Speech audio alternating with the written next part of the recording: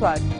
نبدأ مع فيات يلي تولت السيطرة الكاملة على كرايسلر بالولايات المتحدة نهاية 2013 فيات اليوم عم تسعى لخفض تكاليف التمويل. كيف؟ من خلال طلب الإذن من مصرف إيطاليا المركزي لتحويل وحدة التمويل FGA Capital لمصرف.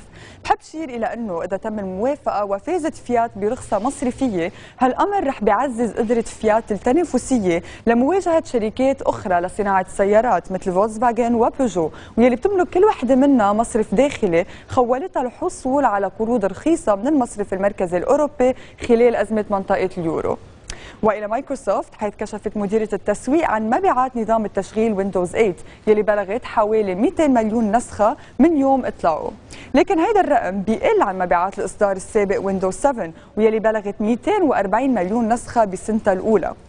هالمبيعات المتباطئة نسبيا لويندوز 8 وويندوز 8.1 بتعكس انخفاض مستمر لمبيعات ال PC مع ارتفاع مبيعات ال smartphones وال tablets. وبحسب إحصاءات التكنولوجيا 11% من مستخدمي ال PC بالعالم بيستعملوا ويندوز 8 أو 8.1 بينما 48% بيستعملوا ويندوز 7 أما 29% البقية ما زالوا بيستخدموا ويندوز XP يلي بيزيد عمره عن 10 سنين.